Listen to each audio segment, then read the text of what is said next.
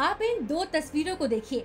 आपकी बाएँ ओर दिख रही तस्वीर 8 जुलाई की है, जब कांग्रेस नेता राहुल गांधी सोनीपत के किसानों के साथ मिले और उनके साथ बैठकर खाना खाया।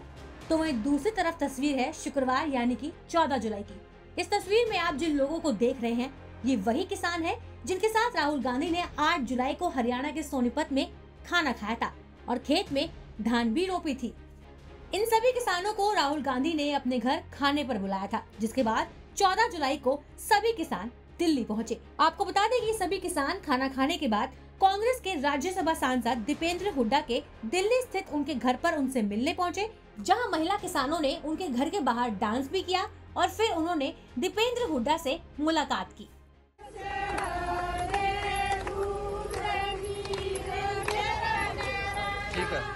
किसानों को खाने पर बुलाए जाने को लेकर हुडा साहब ने ट्वीट भी किया और पूरी बात की जानकारी बताई।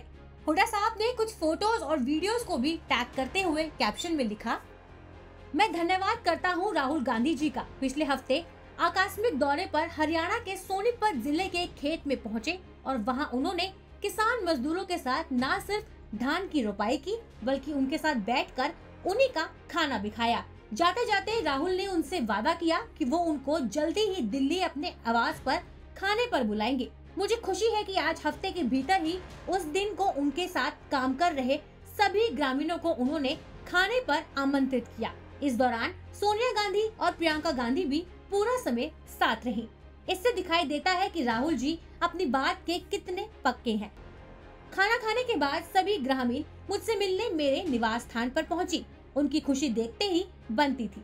उनका कहना था कि उन्होंने कभी कल्पना भी नहीं की थी कि उन्हें ऐसा अवसर भी देखने को मिलेगा। इसी बीच महिला किसानों ने टमाटर की बढ़ती कीमत पर भी चुटकी ली। दरअसल खाने में सैलेड की प्लेट में रखे टमाटर को लेकर एक महिला किसान ने कहा कि आज तो हम टमाटर खा सकते हैं। जिसके बाद आगे क्या हुआ, आप खुद ही सुनिए। ये टमाटर ये वो उन्होंने कहा कि हाँ टमाटर सच में वो सलाद में काट रखे थे। मैं बोली, मैंने बोला उनको कि आज तो हम टमाटर खा सकते हैं। ये खाने में जैसे कि उनको लेके, खाना लेके गए थे ना घर से, टिंडी घी लेके गए थे, लस्सी लेके गए थे, चूरमा बना के लेके गए थे।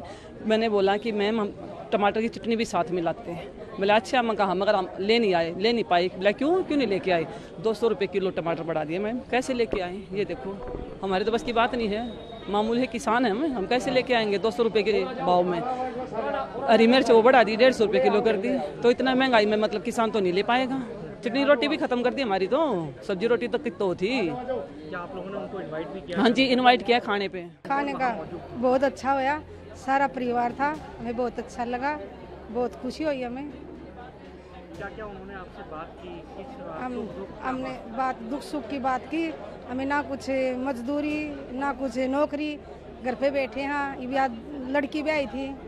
इसलिए वहाँ पर अपनी दुविध्या मिटाने गए थे। गए दुविध्या तो उसको कहीं कुछ कराएँगे सब आधा कोई खाने के दौरान कोई ऐसा आपसे वादा किया गया हो? खाने का खाना जी बहुत अच्छा था सारा जी। हमें तो कुछ देखा भी नहीं था वहाँ पर। गाना, गाँव में तो जी चटनी रोटी है, और ये भी टमाटर आजकल से महँगा कर दिया। उसने गरीब आदमी के खाए। आज खाने पर बुला रखे थे जी। बहुत बढ़िया, बहुत अच्छा लगा जी जमा। और खाना भी बहुत अच्छा था जी। हमने तो नो भी नहीं पता जी। यो के के खाना पहली बार देखा जी हमने तो जी। हाँ जमा बहुत अच्छा। हमारे साथ डांस करा जी। हमारे साथ नाची हुए, उसकी बहन भी, और उसकी मम्मी भी। राहुल गांधी की ओर से किसानों को खाने पर बुलाए जाने पर दीपेंद्र हुड्डा ने क्या कहा? आप वो भी सुनिए। देखिए, भाजपा की तिलमिलाहट राहुल जी की सक्रियता देख के स्वाभाविक है। राहुल जी एक सच्चे जनसेवक और जननेता हैं जो लोगों के बीच में पहुँचते हैं और इसमें हमें खुशी है कि वो आकस्मिक रूप से हरियाणा में खेत में रुके, जहाँ पर उन्होंने ना सिर्फ़ ट्रैक्टर चलाया लेकिन वहाँ पर उन्होंने पौध लगाने का भी काम किया।